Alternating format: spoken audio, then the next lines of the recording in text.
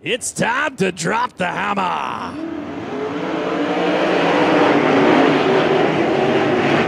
Gonna get feisty down into turn number one and two. We'll see what comes out the other end. A little hesitation there in the mid pack. So everybody's kind of waiting on the throttle to pick that bad boy up onto the back chute. Three wide back in the field through turn number three and four. Here comes Ballou after the top spot. Rips his way through the eye of the needle and onto the point. Goes the madman. Connell's going to come down to the inside for the number two E car. Work in tight to the tires onto the front chute. Ballou, however, leads him. Backs that baby down into turn number one. Rotates and motivates out of the corner and down the back straightaway. Meanwhile, Kevin Thomas Jr. working from fourth on the field to the outside. Axamo, he gets biked up. That could have been bad. He's got a good move down on the inside for the 12 cars, able to get out away from what is now a battle between second, third, and fourth. Grant had a run, and unfortunately ran out of daylight. Had to get on to Binder's hard there Brady Bacon slipped up for state up on the high side of the racetrack. Now Grant goes back to the top shelf down into turn one and two. So ride the rim onto the back straightaway. Grant again a drive. Now looks through the eye of the needle. The four car working the middle of the racetrack. Challenging on second and third. Grant picks off Bacon.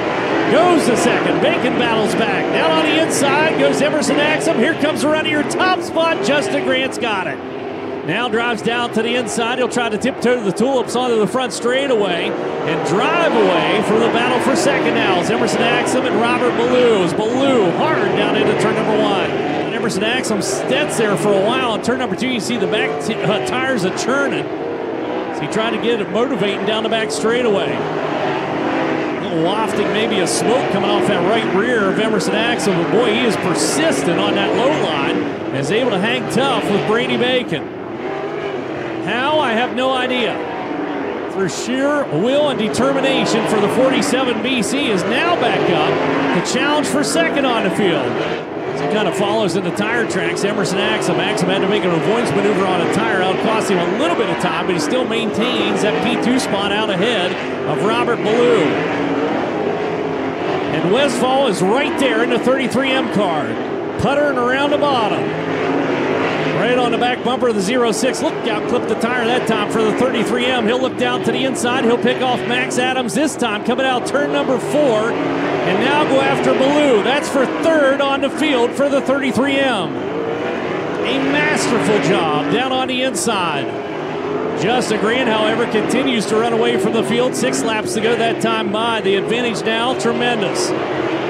Into the number three spot goes the Pleasantville, Ohio racer. Axsom. A little better run for him this time as Westfall again clips the tire coming out turn number two and down the back straightaway. And Westfall's not going to be able to make a drive on Axsom. I thought for sure that would be the case. And up front, Justin Grant looking to leave here as still the national points leader.